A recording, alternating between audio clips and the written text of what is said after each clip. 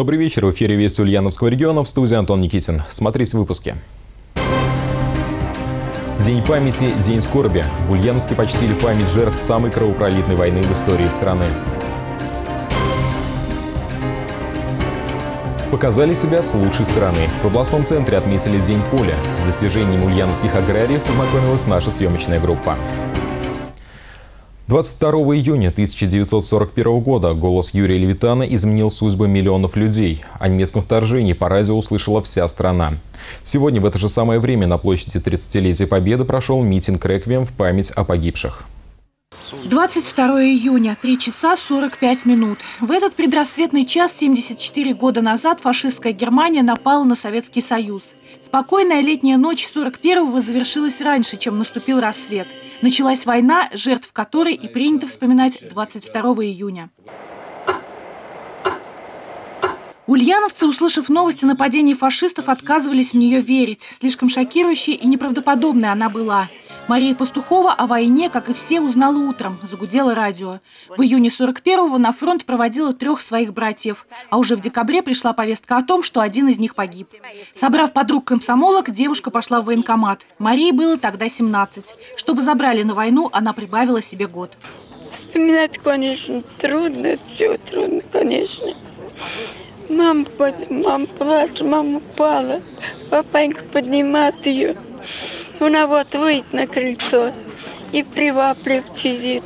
А 15 декабря прислали уже 41 года повестку. Брат погиб. Для возложения цветов к обелиску 30-летия Победы пришли не только ветераны той страшной войны, но и участники локальных вооруженных конфликтов. Истории забывать нельзя. А кто забывает историю, тот будет уже на своем примере, на своих ошибках дальше продолжать свою жизнь. А мы, а, воспитанники своих героев, чтим память сегодня своих дедов и отцов своим примером, своим присутствием на вечном огне города Ульяновска. Но чтобы почтить память всех, не хватит ни цветов, ни свечей, ни времени. Вот и сегодня не успели затемно. Еще бы, ведь эта ночь, как и та 74 года назад, была самой короткой в году. Когда вот мы здесь собираемся, э, мы стараемся в этих э, небольшие минуты, э, общаясь с ветеранами, их поддержать сказать о том, что мы помним, мы хорошо знаем историю. И мы все сделаем для того, чтобы вот эти э, знаменитые слова э, «никто не забыт и ничто не забыто» действительно передавались из поколения в поколение. Таких вот мероприятиях проходит незримая передача. Передача эстафет, передача э, памяти и э, славы или скорби, э, которые есть э, в, наших, в нашем народе, у наших поколений. Дай Бог, чтобы так было всегда. Зажглись свечи не только у обелиска славы. Во всех русских православных храмах сегодня прошли панихиды, попавшим на полях сражений воинам. Всего на фронтах той войны сражались 230 тысяч ульяновцев. Половина из них погибли, защищая Родину. Мария Пугачева, Александр Абрамов, Вести Ульяновск. И к другим новостям. В нашем регионе появится текстильный индустриальный парк. Договоренность о его создании достигнута между правительством Ульяновской области и холдингом «Русь». Уже подписано соответствующее соглашение. Свидетелем события была наша съемочная группа. Сегодня, несмотря на сложные экономические условия, фирма «Русь» развивается успешно. Ульяновское предприятие выпускает высококачественную трикотажную продукцию. Налажен сбыт товаров в другие регионы, ведется сотрудничество с крупными федеральными сетями. В настоящее время на территории фабрики расположено порядка 25 организаций. Самые крупные из них – БТК Групп, производящие одежду военного назначения. У нас есть еще возможности по а, увеличению объемов выпуска трикотажного полотна. Мы готовы принять дополнительных инвесторов на свою площадку площадку. А, но уже в рамках вот нового статуса индустриального парка на площадке ЗАО «Фирма Рус».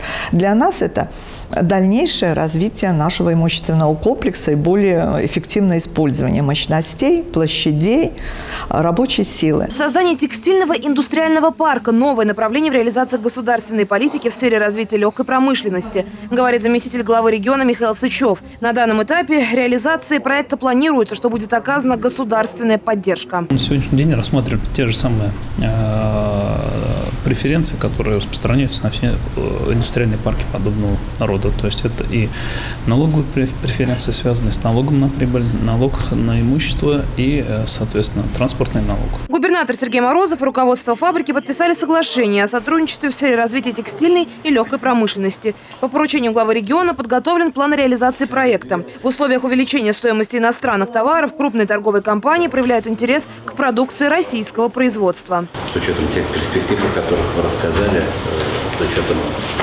возможности здесь создать у нас э, в рамках программы импортозамещения такой э, уникальный индустриальный парк. В конце концов, это даст нам действительно очень много возможностей, чтобы трудоустроить милых женщин. По информации специалистов профильного ведомства, на данный момент 40% от общей площади компании занимают производители детской продукции. Но уже в ближайшее время группа компаний фирма «Русь» планирует нарастить объемы производства. Елена Красильникова, Мария Пугачева, Борис Шевалдов, Вести Ульяновск. В регионе отметили День поля. Впервые он прошел не в районах области, а в самом Ульяновске. Выставка сельскохозяйственной техники, достижения аграриев и награждения тружеников отрасли. Об этом Елена Красильникова.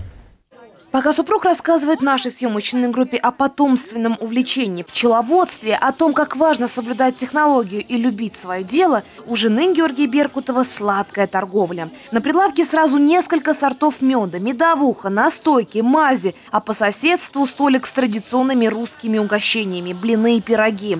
Тут же дымится самовар – Гостей кузовчане зазывают не только вкусными продуктами и низкими ценами, но и возможностью передохнуть за чашечкой чая. У меня и отец занимался пчелами, и дед, и прадед. Ну, сколько вот я помню, все занимались пчелами. Но я как научился ходить с двух лет все время на пасеке. Кроме медовых угощений, Кузоватовский район представил молочную продукцию. На дне поля каждый район показал себя с лучшей стороны. Меликес, житница региона и Муловка традиционно баловали гостей хлебобулочными изысками. Барыш привез экспозицию чучел. Николаевка встречала гостей мастерской зодчих. На празднике, объединившем всех аграриев региона, смогли покрасоваться их помощники – буренки и пернатые. Мы целенаправленно пришли, нас пригласил товарищ здесь у нас из Чердаклинского района. Э, мы вот с удовольствием сюда пришли и смотрим. Тебе нравится Сева здесь? Да. Вместе с ними представили на дне поля и железных помощников аграриев – сельхозтехнику. Впервые праздник, посвященный окончанию посевных работ, прошел в самом Ульяновске. Министр говорит об успехах. План сева в этом году перевыполнен на 2%. Больше посеяно картофеля, гречихи, подсолнечника. В этом году немного увеличили прошлогоднюю площадь, которая у нас занята под сельскохозяйственными культурами. Но вот единственное, что сейчас омрачает, это те погодные условия, которые установились. Это жара без осадков над Ульяновской областью. Но все-таки мы надеемся, что в ближайшие дни ситуация с влагой поправится. Тем более губернатор сегодня заказал молебен, он попросил Феофана для того, чтобы крестьянам пришли дожди. И не зря мы здесь э, выбрали площадку, опять же, около мечети, чтобы уже ко всем Всевышним можно было обратиться. Кроме песен и танцев, народных гуляний и традиционных развлечений на дне поля награждали благодарственными письмами, званиями заслуженный сельскохозяйственный работник и грантами. Всего их раздали 12 по полтора и 4 миллиона рублей. Гуляние продолжится. Впереди 7 и 8 июля в Нижнем Новгороде Приволжский день поля.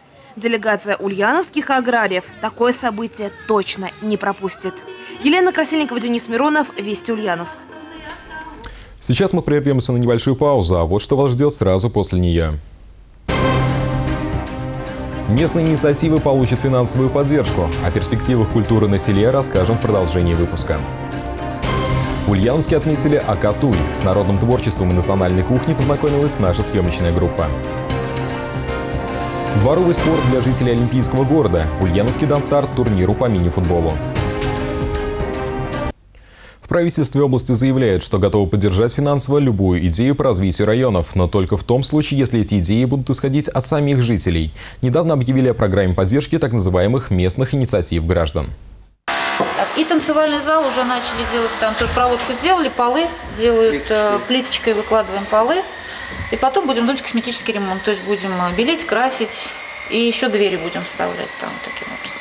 Полностью да, пластиковые окна, если это все сдали. Ну, на пластиковые окна мы потом посмотрим. Глава местного управления по делам культуры Юлия Ермохина рассказывает, каким по проекту станет клуб в ближайшее время. Небольшое здание сегодня, по сути, штаб-квартира сразу двух народных коллективов, одному из которых в этом году исполнится 36 лет. Сколько репетиций в неделю? Два раза в неделю. Это когда э, рядовые дни. А если перед концертами, конечно, собираемся почти каждый день. Руководитель хора Вячеслав Кузнецов показывает, где проходили репетиции. На потертом полу родной сцены коллектив сейчас не встречается, дабы не мешать специалистам.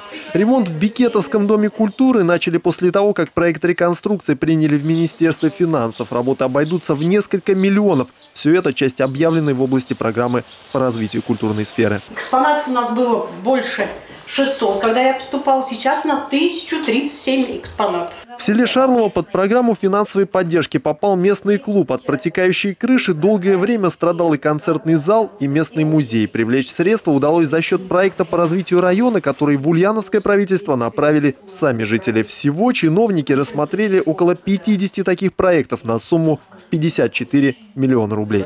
Игорь Котов, Денис Миронов, Вести, Вишкаемский район. В Парке Победы прошел областной чувашский национальный праздник Акатуй. 26-й раз горожане и гости Ульяновска самых разных национальностей приняли участие в празднике Плуга. В этом году он был приурочен к региональному году национальной памяти и славы, а также движению гордости славы родного края.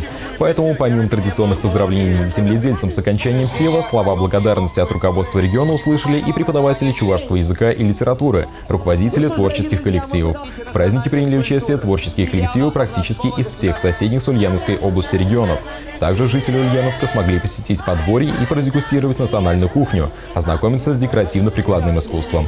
Организацию праздника высоко оценили как жители региона, так и соседи. Здесь раскрывается моя душа. Я чувствую, что мне все тут родное и близкое. Я очень рада, что этот праздник проходит ежегодно. Не первый год принимая участие на празднике году в городе Ульянска, Ульянской области. Действительно, та работа, которая сегодня ведется правительством Ульянской области, э, мы считаем, она достаточно сегодня направлена на такое взаимопонимание, на сотрудничество и всех народов, которые действительно более 120 народов проживают в Ульянской области. Тем временем в Кузоватовском районе в селе Кивать прошел мордовский национальный праздник «Мастеровань Мород». В этом году фестиваль мордовского фольклора приобрел всероссийский статус. В Ульяновскую область ехали с представителей десятков регионов страны. Всего гостями праздника стали более пяти тысяч человек.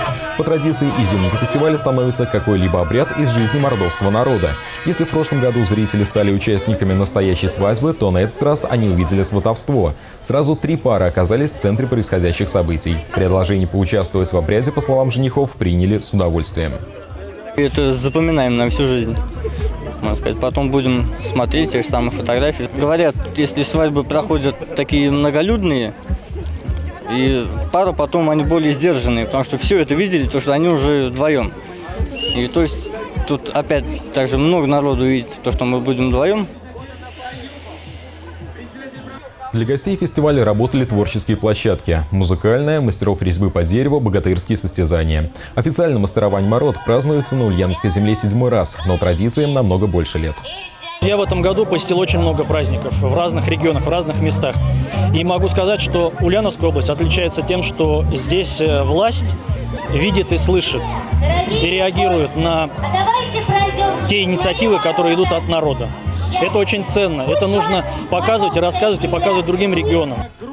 Еще одним радостным событием стало вручение грантов самым активным людям района. Средства, выделенные правительством региона, пойдут на решение социальных проблем, будь то ремонт дома культуры или приобретение оборудования для детской площадки. Молодежному спорту максимум внимания. В рамках проекта «Жители Олимпийского города» в Ульяновске стартовал турнир по мини-футболу. Занятия по подготовке команд и сами соревнования будут проходить в течение всего лета.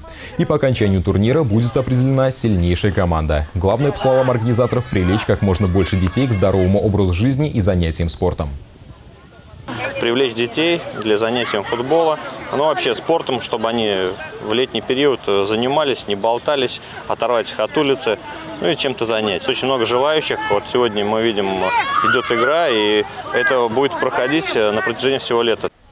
Первыми на футбольном поле встретились дворовые команды «Звезда» и «Грация». Несмотря на жару, игра шла активно и на равных. Ребята с радостью откликнулись на предложение поиграть. Занимаюсь я давно, и футбол, это игр, иг, играть в футбол мне очень нравится. Нравится, а участвуем, как вот предложишь, появится возможность, а и участвуем с удовольствием. Спортивные соревнования по разным видам спорта будут проводиться на 30 площадках во всех районах Ульяновска. Занятия с жителям проводит инструктор городского центра «Симбирцит» по общедоступным видам дворового спорта – по футболу, пионерболу, баскетболу, бадминтону, теннису и спортивному ориентированию. Напомню, проект жителей Олимпийского города реализуется в Ульяновске с 2010 года и направлен на развитие дворового любительского спорта, организацию спортивного досуга горожан и популяризацию здорового образа жизни. Далее о погоде.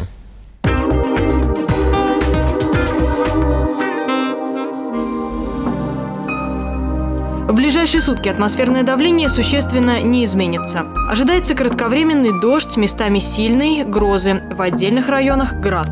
Ветер юго-восточный умеренный, при грозе порывистый.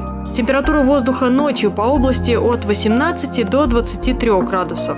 В Ульяновске 19-21. Завтра днем по области 30-35 градусов, по юго-востоку области до 38. В Ульяновске от 30 до 32. В лесах в большинстве районов области 4 класс пожарной опасности. По юго-востоку и востоку области местами 5 класс пожарной опасности.